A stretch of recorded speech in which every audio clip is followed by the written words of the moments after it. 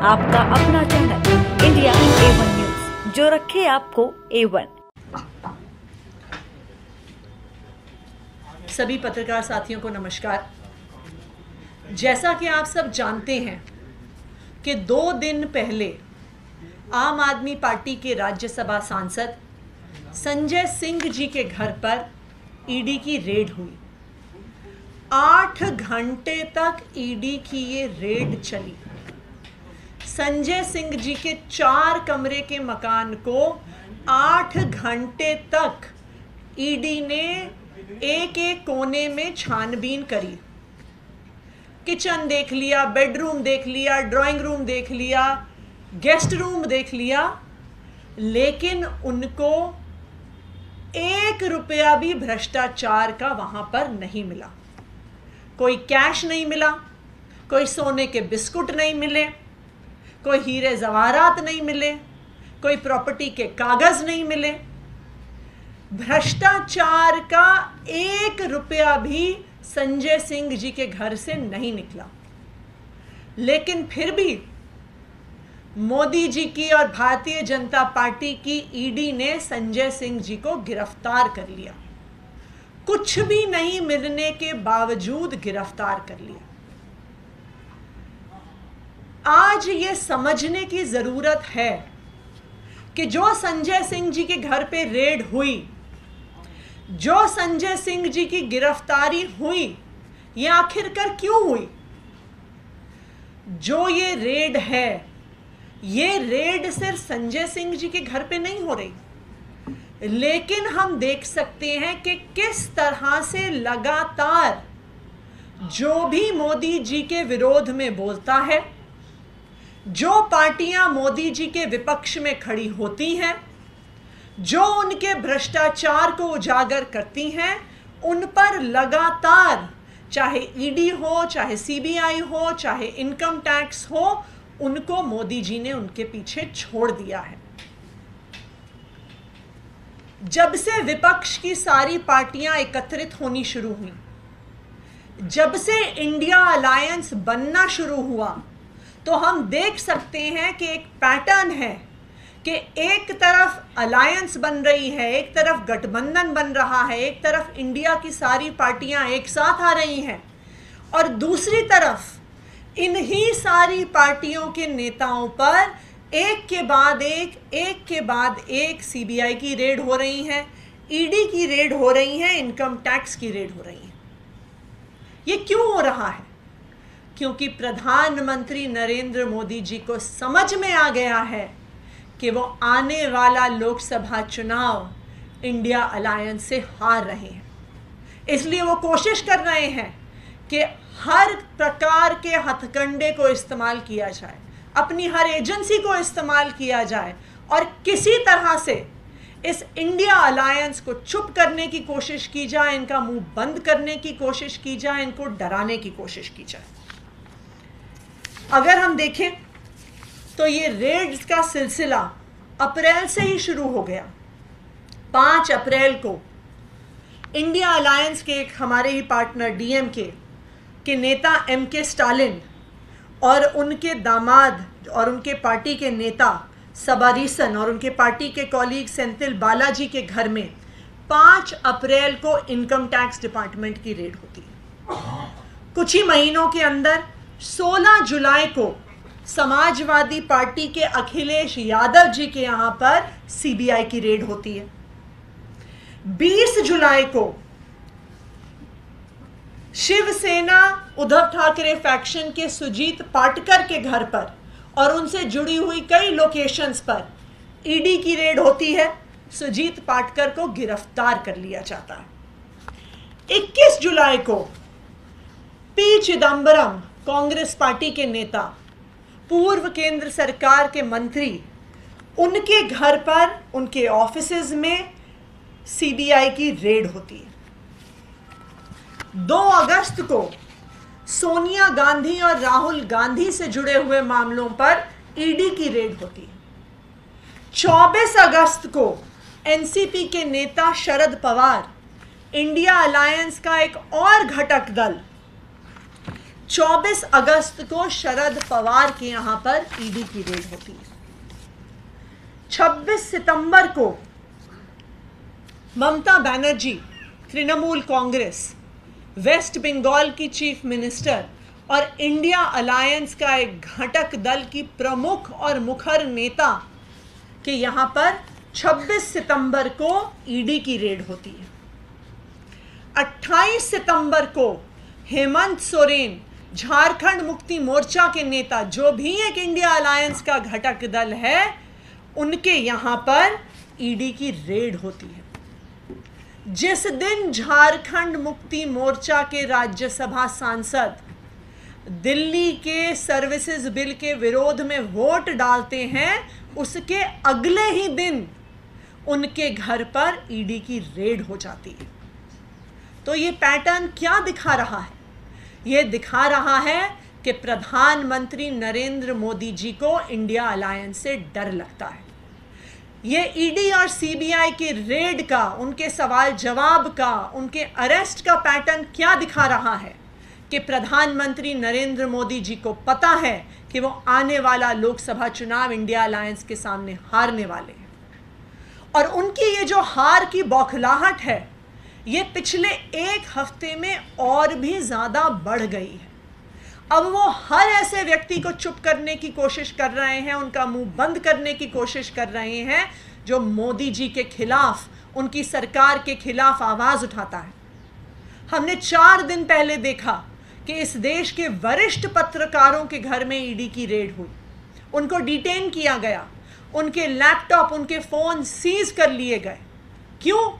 क्योंकि वो मोदी जी की सरकार में बढ़ रही बेरोजगारी पर, मोदी जी की सरकार में बढ़ रही महँगाई पर सवाल उठाते उसके अगले दिन हमने देखा कि जब टीएमसी की मुखर नेता महुआ मोइत्रा जी जब कृषि भवन जाती हैं, वहाँ पर मोदी जी की पॉलिसीज़ पर आवाज़ उठाने की कोशिश करती हैं, कृषि मंत्री से मिलने की कोशिश करती हैं तो दिल्ली पुलिस बर्बरता से उन्हें वहाँ से घसीट कर लेकर जाती है और उनको डिटेन कर लेती है।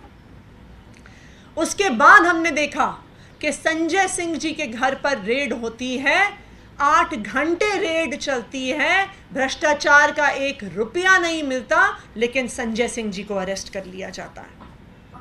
उसके अगले दिन, पाँच अक्टूबर को, कांग्रेस के नेता आर एम मंजूनाथ गौड़ा के घर पर और उनसे जुड़े हुए ऑफ़िस पर ईडी की रेड होती है। पाँच अक्टूबर को तृणमूल कांग्रेस के नेता रथिन घोष के घर पर और उनके ऑफ़िस में ईडी की रेड होती है।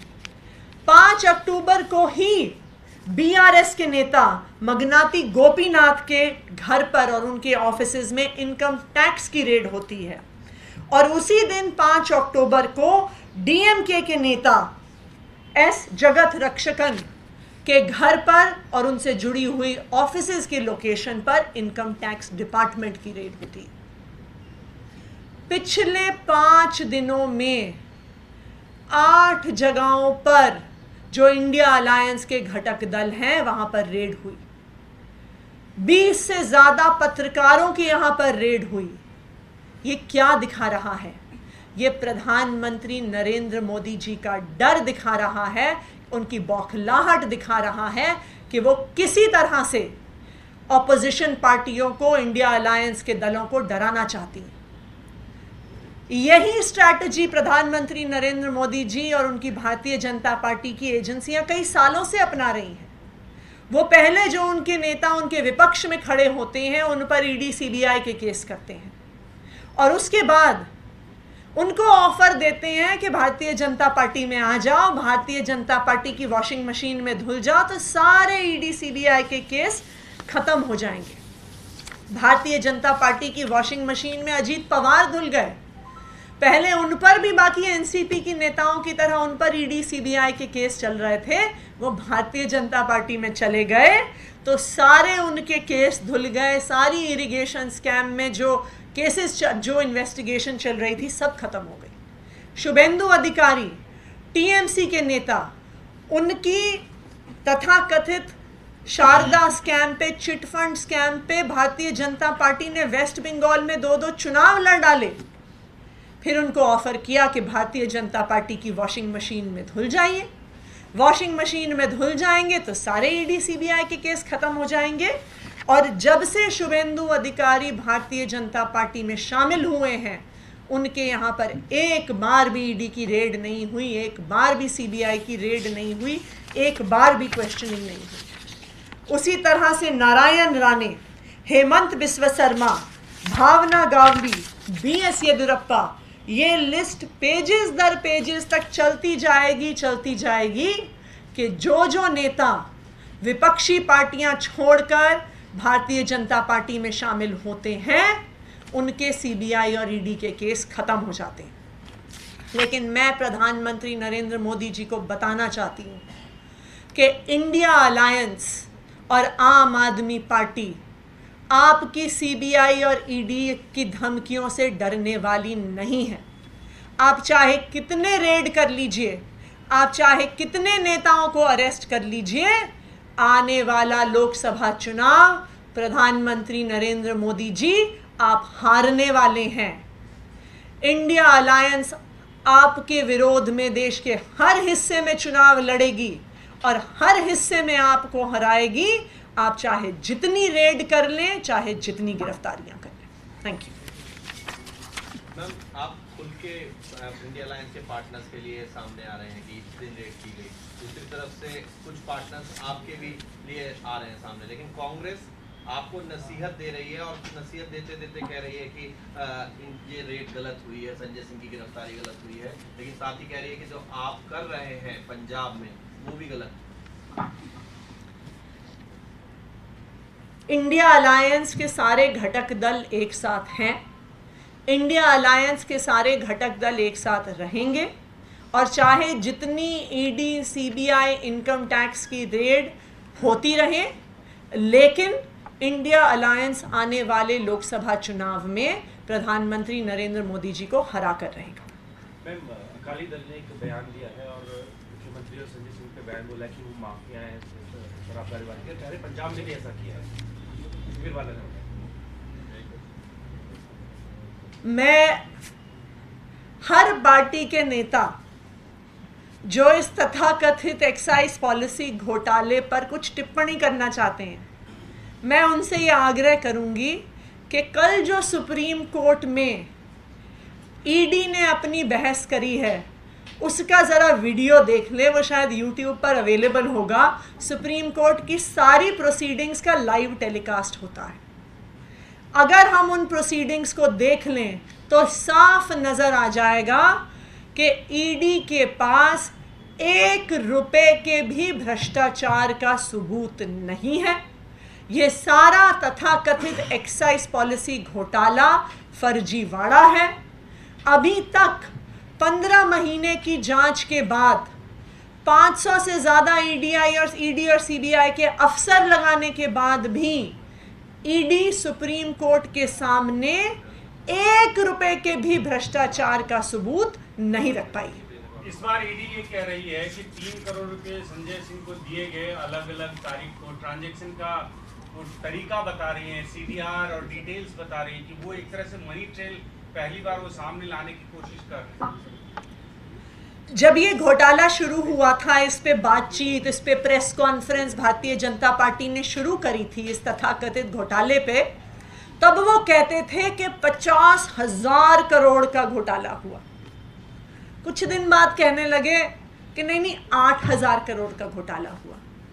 फिर कहने लगे, नहीं नहीं, तीन सौ करोड़ का घोटाला हुआ।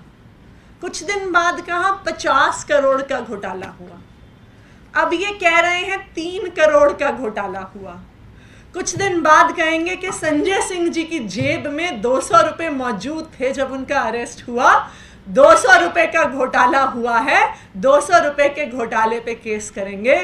मैं तो ईडी को सीबीआई को चैलेंज कर रही हूँ कि आप एक रुपए के भी घोटाले का सबूत देश के सामने रख के दिखा दो।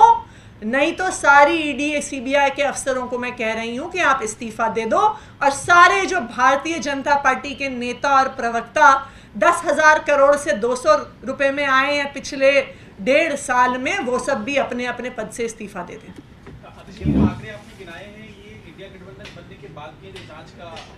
जब से इंडिया गठबंधन ने साथ, क्योंकि ये अलायंस जब से साथ आना शुरू हुआ, बातचीत होनी शुरू हुई, अप्रैल, मई की बात है, तब से मैंने जितने रेड्स हुए हैं, उनके आंकड़े गिनवाए।